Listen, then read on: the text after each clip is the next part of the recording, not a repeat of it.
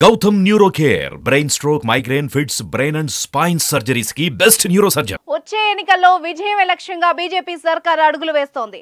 Hat trick కొట్టేందుకు Modi వ్యూహాలు సిద్ధం చేస్తున్నారు. ఈ క్రమంలో కీలక నిర్ణయాల వైపు అడుగులు పడుతున్నాయి. ఇందులో భాగంగా ప్రధానమంత్రి కిసాన్ సమ్మాన్ నిధి సాయాన్ని కేంద్రం పెంచాలని భావిస్తున్నట్టు వార్తలు వినిపిస్తున్నాయి. పీఎం కిసాన్ పథకం కింద ప్రభుత్వం ప్రతి నాలుగు నెలలకు ఒకసారి లబ్ధిదారుల బ్యాంకు ఖాతాలకు రెండు వేల రూపంలో మొత్తం ఏడాదికి ఆరు వేల సాయం అందిస్తోంది. ఇప్పుడు దీన్ని ఎనిమిది వేలకు పెంచనున్నట్టు సమాచారం. ఈ ఎనిమిది వేల రూపాయలను నాలుగు వాయిదాల్లో చెల్లించాలని ప్రభుత్వం ఆలోచిస్తున్నట్టు జాతీయ వార్తాపత్రికల్లో కథనాలు కనిపిస్తున్నాయి. పీఎం కిసాన్ పథకం కింద రెండు వేల ఇరవై నాలుగు లోక్సభ ఎన్నికలకు ముందు వాయిదాల చెల్లింపు మొత్తాన్ని పెంచాలని మోదీ సర్కార్ భావిస్తోంది.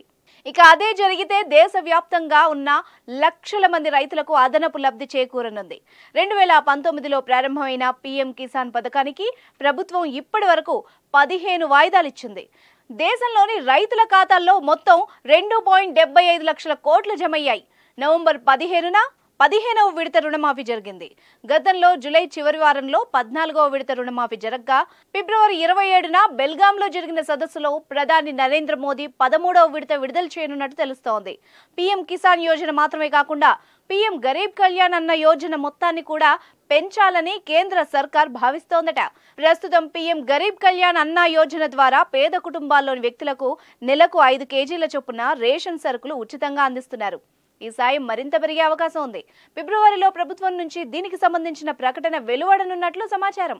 ఏదేమైనా లోక్సభ ఎన్నికలకు ముందు కేంద్ర ప్రభుత్వం నుంచి దేశ ప్రజలు ఏదో ఒక గుడ్ న్యూస్ వింటారని టాక్ వినిపిస్తోంది.